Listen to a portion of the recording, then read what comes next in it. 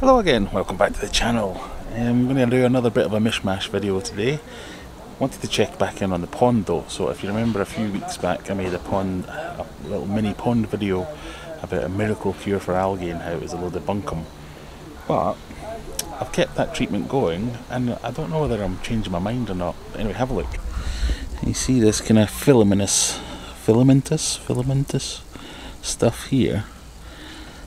It's kind of bubbly and it's starting to break down. There's duckweed and all kinds of stuff and that leaf in there. But some of the algae is, in fact, it looks like it is starting to break down.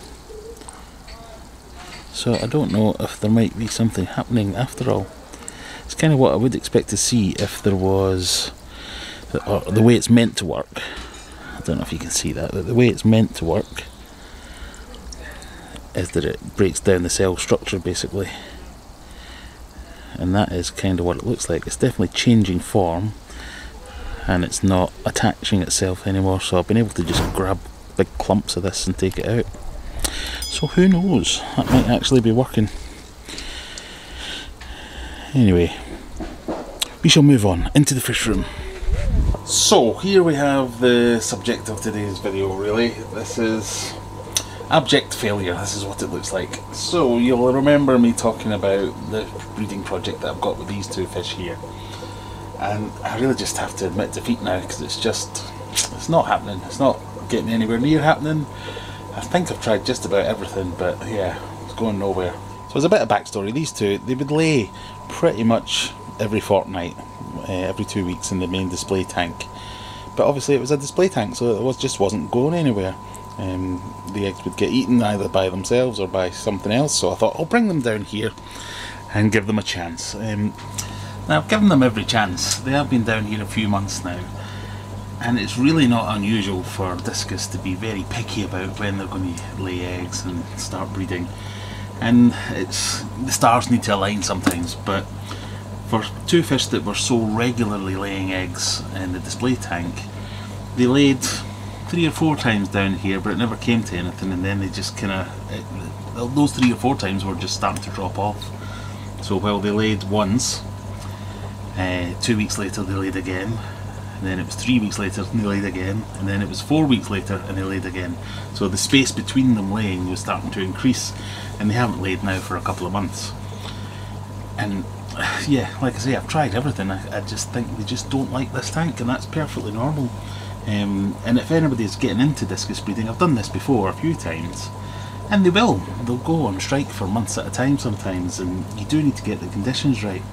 But I've been trying to vary their food, I've been trying to change their uh, water change routine, the lighting setup, um, even this line here, been doing some cold water changes, sometimes that gets them into the mood, increasing the temperature and the humidity in the room, um, but yeah, it's just not happening, so I'm kind of calling it a day now.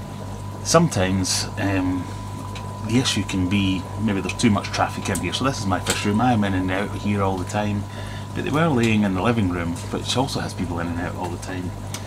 Um, but the washing machine and the tumble dryers in here, maybe they didn't like that noise or the vibrations, maybe they don't like the height of the tank. I've had fish before where they will quite happily lay on the first shelf of my racking system, but in the tank on the second shelf, having none of it.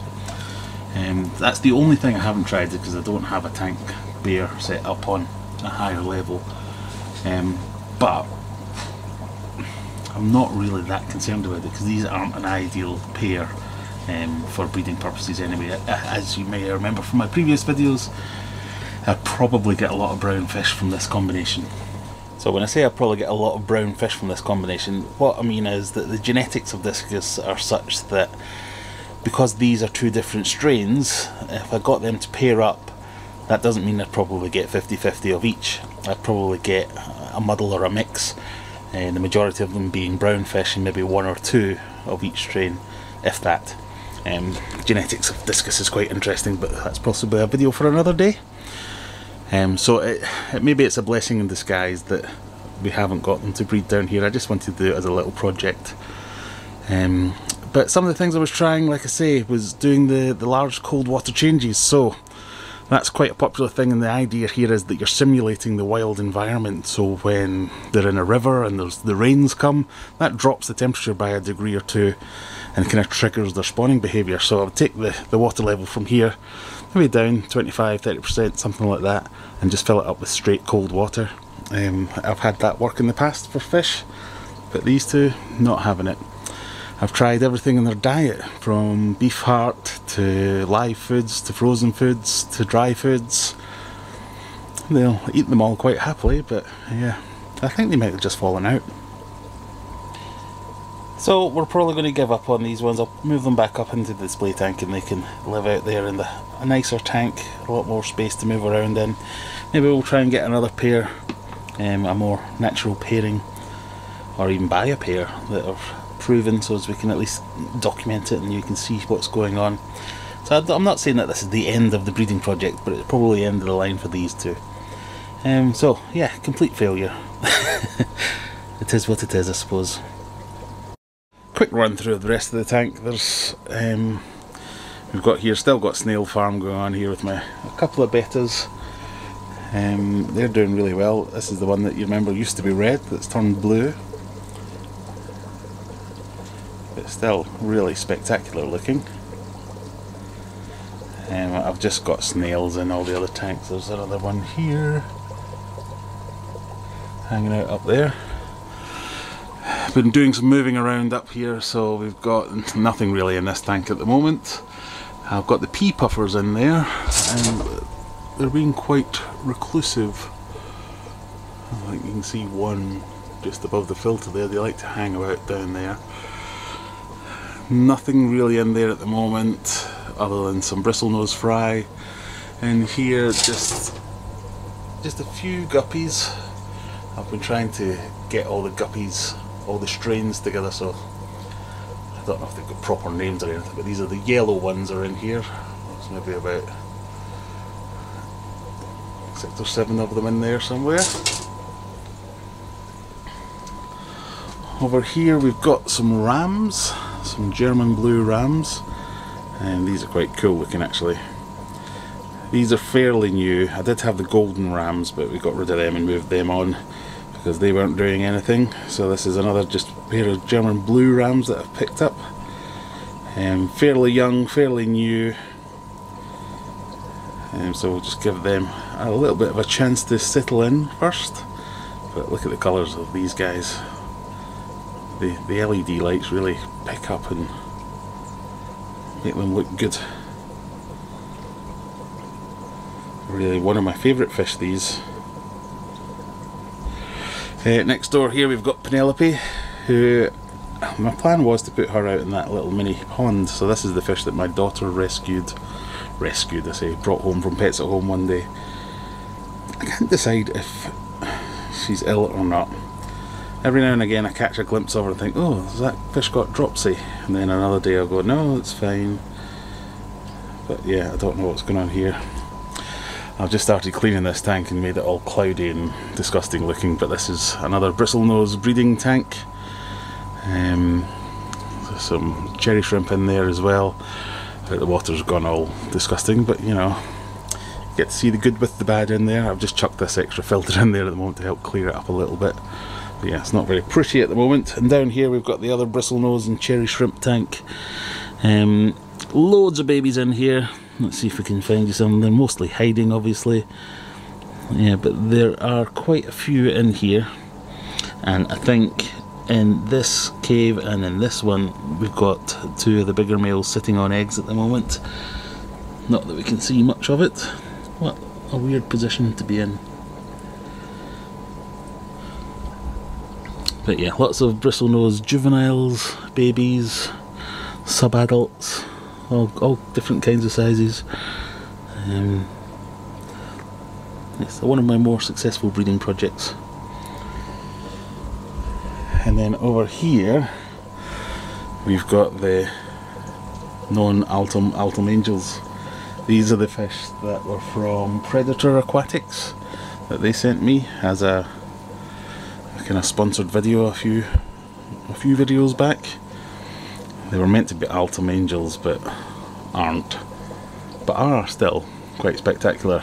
I don't know quite why they're hiding. I probably upset them. So as you can see, the water level's down because I've just done a big water change.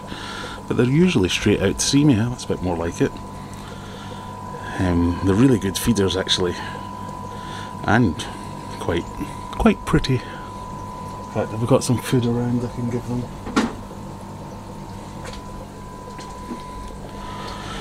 So I've got some frozen brine shrimp here. Um, but they are really good feeders as well usually and go to town on that. They've got about half a dozen bristlenose plecs in here as well. Um, if you are following along we have lost one of these. There was one when it came it looked a bit dodgy and yeah I predicted it wasn't going to make it and it didn't. Um, but these are another fish that if the light catches them just right they can look quite spectacular. Um, I'm even considering moving these guys up into the display tank upstairs as well because they are quite active, they're really good feeders and they're very pretty.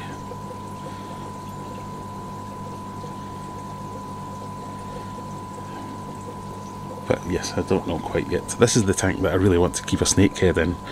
I just need to find one. Um, I say that as if I'm having real problems, real problems finding one. I'm not really trying very hard to find one. But ideally, I'd like some one of the smaller species that you don't need to winter. Snakeheads are a fish that some of them, some of the strains, um, they need a more um, natural cycle to to really flourish. So overwintering to drop the temperature of the tank and then bring it back up again through spring and summer and then back down again through autumn and winter. And um, that's how they prefer their conditions so they can spawn. Um, but there are some that don't need to do that and there's the smaller ones like the rainbow snakeheads which I have seen in angel tanks like this it's just it's a really nice look um, and there's lots of hidey holes in this tank I mean it's not usually quite as bushy as that but it's just because I've been doing water changes in here. I think this would be a, a really good tank for one of the smaller species. But yeah these guys are looking great actually. Big fat bellies. So that's it for today. I just wanted to share some of the bads but it goes with the good sometimes. Uh, often you'll just see videos of people that showing off all their successes, but yeah, it doesn't work all the time, and you shouldn't expect it to yourself. I am going to leave them just now, but in the next few weeks they'll go back upstairs, and then we need to think of a new project. I'm not sure whether I'll try and buy a pair that's kind of already paired, or see if I can see anything. Nothing's developing in the other discus that I've got. Um, but don't know. Watch this space. Let me know in the comments what you would do. That's that's that's what all the YouTubers say, isn't it? Um, but anyway, thanks for joining me this time. As always, uh, click that subscribe button. We're getting up there now. I'm trying to get into double figures in the thousands, but you know, maybe not this year, but hopefully soon in the new year. Um, but thanks for joining me, um, and we'll see you in the next one. Bye.